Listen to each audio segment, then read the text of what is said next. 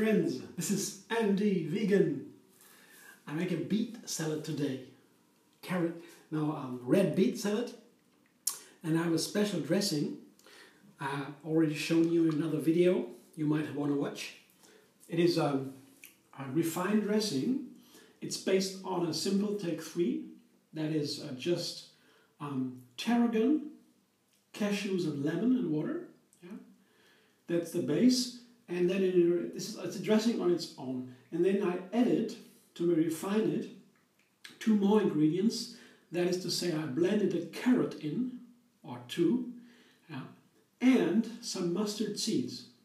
And that is an amazing combination. Tarragon, carrot, mustard seeds with a lemon. Really, it's delicious. Ah, very delicious. And um, it's also very nice with this salad.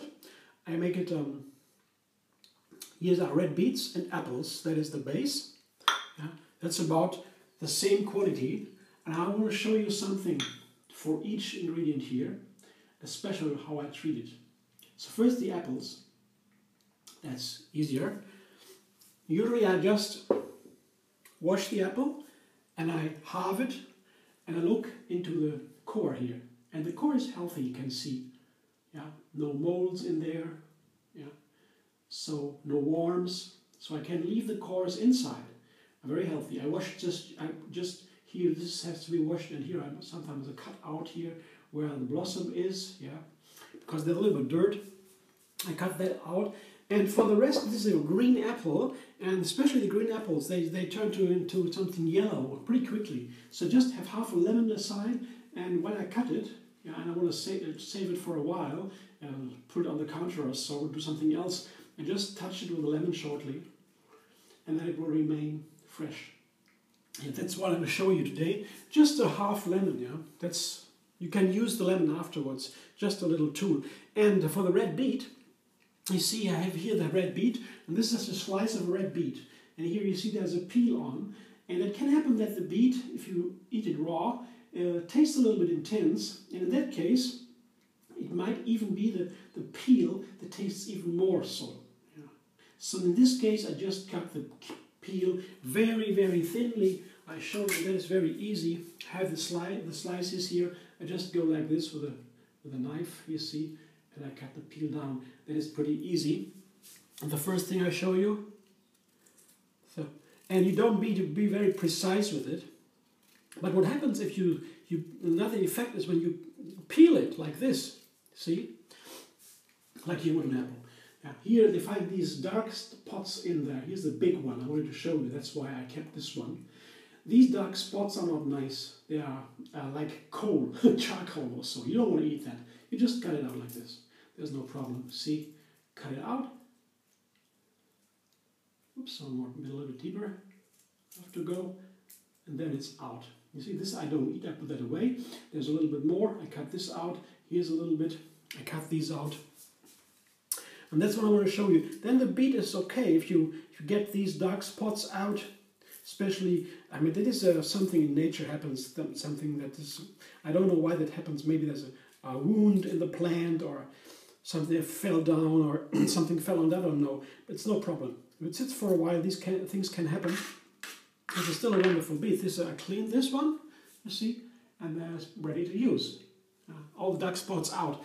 And now I come to use uh, my food processor and for the beet and for the apple I use this uh, this kind of blade yeah?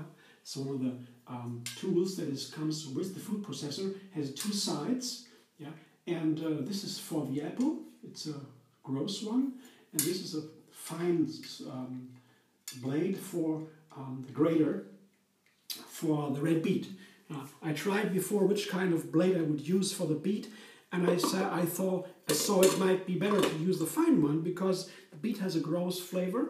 Some don't like it at all, but if you have the small, the, the juliennes, then it tastes wonderful. Uh, it's very fresh then and watery because you cut it fine and the surface the surface is maximized and the water comes out. The flavor changes completely. so, but I begin with the apple because once I grated the, the beet, the blender is red, and then the, all the apples are red.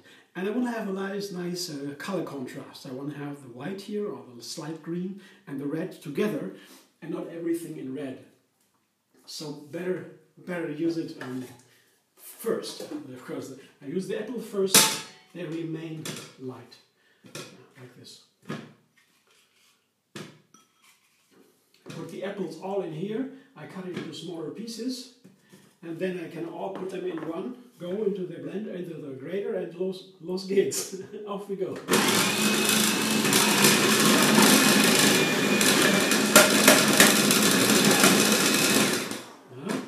That's the apple, and right after the apple, I put in my, I, I don't need to show you now, I'll show you later, together with the beet. So the beet comes in the same way. I may be putting all in. I have the same quantity of beets and apples, as you may have noticed.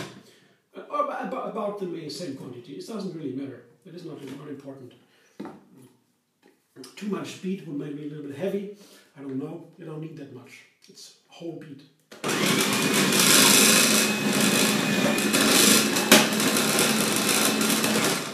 Oh, you know what? I forgot to turn it around. It doesn't matter. So if you use a grater or like this here, yeah. If you use this one or a similar kind, yeah. or if you use a food processor, it doesn't really matter. You can use either way. Yeah. It's a problem. I guess this one is a little bit faster. That's all, and it's also easy to cleanse. And you see here, I have now I have the, the gross beets, these pieces, but they are still okay. You see, it's not too big. It's okay. And under the beets there are the apples. Both go now into my salad bowl. Yeah. And I still have a nice color contrast as I wanted. I have the red and I have the white from the apple or the slight green. And the third ingredient here is classic, since the raisins, Sultanas. See the raisins? They go over as an ingredient. And together with the, the three ingredients I have this as a unit, and the second unit is my dressing. Tastes so good. And if you leave it in the fridge for a day or so, as I did, the flavor of the mustard seeds comes on really through. Tastes really wonderful. You have to try this contrast. There are very strange flavors, yeah. Um, tarragon sometimes like licorice, licorice. but you put it together with lemon and then with mustard seed, it's so so nice with the carrot. It's so different. You don't notice the licorice. It's a different flavor. See, I go put all over it, and I use all of it because it's such a nice dressing. You want to have a little bit more of it. It's so delicious. Not a soup, but you see, rich with dressing. On top of it, um, the th third uh, part, to say, uh, not ingredients but parts. The third part is one ingredient here. I soaked some walnuts these have been soaked because they're a little bit bitter. If you have um, nicer walnuts that are not bitter, you don't need to soak them. But they are a little bit softer now too after soaking, rinsing and draining. I put them on top, some of them. And that is my beet salad today with a mustard seed, carrot, tarragon dressing. Mmm, so yummy. And of course, super healthy. There are so many health benefits I can't even count, begin to count. The beet is um, generally are known for its um, support of the blood. Yeah? It is red, yeah? a lot of iron in there, and um, it allows for the blood to take more oxygen in. So you, especially if you make a if you're on a training or a workout or something, and you begin with a beet, beet juice or beet salad, you can really have a better, performance because there is so much oxygen in the blood. And the other the other ingredients all have many health benefits yeah, you can look it up, but it's so delicious. And the more I develop my flavor, my, my cooking, the more I understand, I feel that good, good ingredients are delicious, yeah, and my body craves always what is best for it. The healthiest and the delicious is the same at the same time. That's what I try to develop for myself. And the recipes I make are always delicious and they're healthy at the same time. I guess that's how cooking should be, right? I don't know. You might have um, other experiences, and sometimes I also really like some French fries. I can't resist, yeah. Um, and um, well, it's maybe also pleasing and healthy in a way. okay, friends, see you very soon, I hope. I hope you enjoyed my little demonstration. You like my salad, my recipe, and if you do so, you can also subscribe MD Vegan on YouTube. Have another recipe every single day, and find me on Facebook, Instagram, Pinterest, and Twitter. See you there.